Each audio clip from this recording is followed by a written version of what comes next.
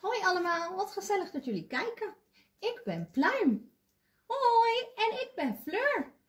Wij zijn samen thuis, want we mogen natuurlijk niet te veel naar buiten. En weet je wat wij gaan doen vandaag? Nou, wat dan Pluim? Wat gaan we doen? Ik weet het nog helemaal niet. Nou, ik had bedacht, omdat de kinderen zo druk bezig zijn geweest met de bloemenwinkel, dat wij vandaag de bloemenwinkel gaan spelen.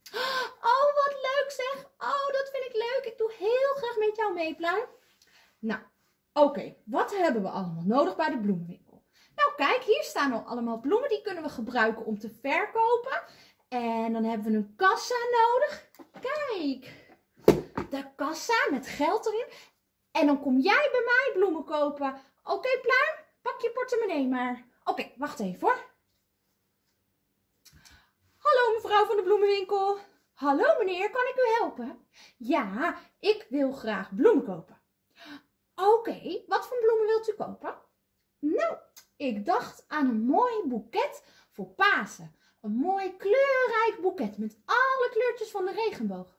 Dat is een leuk idee. Zeg, ik ga even bloemen halen. Kijk, ik heb hier een gele bloem. Ik heb hier een gele bloem. Oh, en daar zien jullie die? Ook nog meer gele bloemen. Um, maar uh, meer kleurtjes heb ik hier eigenlijk niet, meneer. Oh jee, maar ik wil juist een boeket met alle kleuren van de regenboog.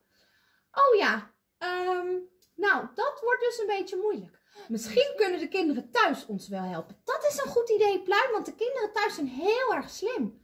Dat klopt. Um, jullie weten al heel veel van bloemen. Als jullie nou eens van alle kleuren een bloem bedenken en een foto opsturen. Um, van elk kleurtje eentje. Dan kan ik er een mooi boeket van gaan maken. Dat is een goed idee, een mooi paasboeket. Goed idee van jou, Pluim. Dag! Zoals je ziet heb ik twee sokpoppen gemaakt vandaag. Ik hoop dat het een leuk toneelstukje was met uh, Pluim en met Fleur. Um, en eigenlijk is het idee dat jullie dat thuis ook gaan doen. Nou, hoe doe je dat? Je pakt een sok een oude sok natuurlijk, van papa of van mama of van iemand anders die niet meer gebruikt hoeft te worden. En dan knip je de bovenkant, beide teentjes knip je eraf. Uh, en daar kan je dan uh, wat gaan opplakken en je kunt hem mooi versieren. Kijk, ik heb Fleur mooi met haartjes gemaakt. En deze oogjes gebruikt en een tongetje.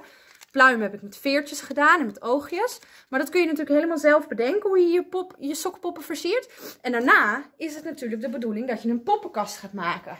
Kijk, ik heb het nu met tafels gemaakt, zoals je ziet in de klas. Ik zal het even laten zien. Op de tafel heb ik dat gemaakt. Uh, en als je poppenkast dan klaar is, dan is het natuurlijk ook nog de bedoeling dat je een verhaaltje bedenkt.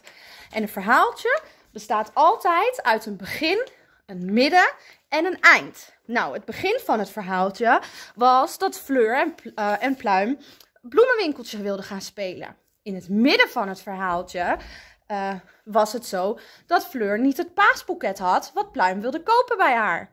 En aan het einde van het uh, filmpje was het zo dat we een oplossing bedachten en we gaan het nu aan jullie vragen. Dus jullie gaan nu een foto sturen naar mij van alle kleuren van de regenboog. Uh, met de naam van de bloem erbij natuurlijk, zodat wij er een mooi paasboeket van kunnen maken. Um, en thuis kunnen jullie dit natuurlijk dus ook gaan doen. Lekker sokpoppen gaan maken thuis. En vervolgens poppenkastjes spelen. Denk goed na over je begin, het midden en het eind van het verhaaltje. Ik heb het ook opgeschreven. Ik zal jullie zo even een foto laten zien. Je kan je blaadje in drieën vouwen, begin, midden en eind opschrijven. En dan kun je het er tekenen of even opschrijven wat je gaat doen in je verhaaltje. Dus. Dus ik wens je thuis heel veel plezier met je poppen, poppenkast, je sokpoppenkast. Uh, maak er wat moois van. Doei doeg!